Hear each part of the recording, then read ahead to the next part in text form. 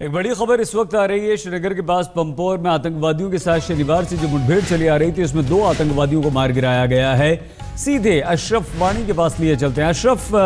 क्या अभी और आतंकवादी हैं या अब ये एनकाउंटर खत्म समझा जाए?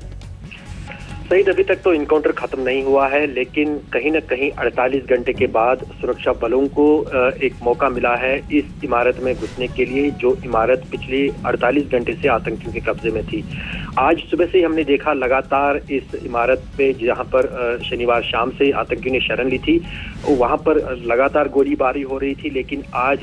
सेना और सुरक्षा बलों ने इस बिल्डिंग पे दावा बोला। उसके कई हिस्सों में आग लगाई, उसके बाद रॉकेट से उस पर हमला हुआ और उसके बाद जब जवाबी कार्रवाई वहाँ से कोई नहीं सुनाई दी गई सुरक्षा बलों को और उसके बाद उन्होंने कोशिश की और फ़िलहाल ग्राउंड फ्लोर जो है इस बिल्डिंग का, वहाँ पर कुछ सुरक्षा बल जिसमें सेना के पैराट्रूपर्स हैं, वो पहुँचने में कामयाब हो गए हैं। और उन्हीं के हवाले से ये खबर है कि उन्हें